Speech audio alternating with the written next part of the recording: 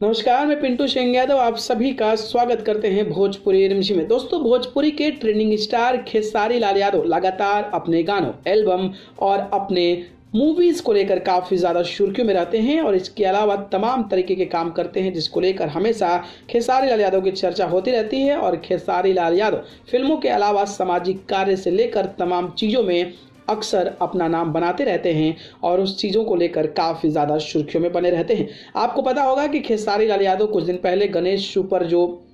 और सीमेंट सरिया जो है, उसके ब्रांड एम्बेसडर बनाए गए थे और ब्रांड एम्बेसडर्स के बाद उनकी तस्वीरें सोशल मीडिया पर काफ़ी ज़्यादा वायरल हुई थी और उनका एक वीडियो भी सोशल मीडिया पर वायरल हुआ था, जब वो अपने इस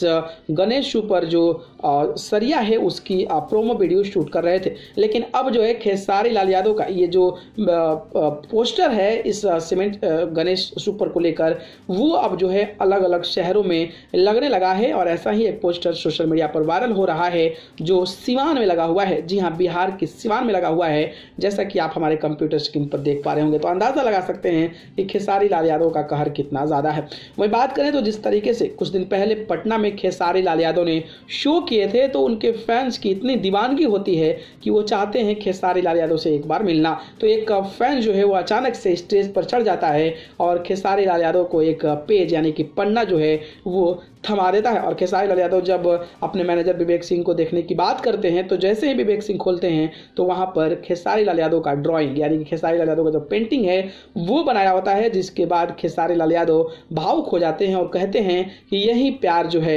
हमने पाया है कि लोग हमारी तस्वीरों को बनाकर हमें देना चाहते हैं और हमको देकर स्पेशल फील कराना चाहते हैं। तो आप अंदाज़ा लगा सकते हैं कि अलग अलग तरीके से खेसारी लाल यादव का तांडव और जलवा चलते नज़र आता है। इस पर आपकी क्या राय है, कमेंट बॉक्स में बता दीजिएगा। धन्यवाद।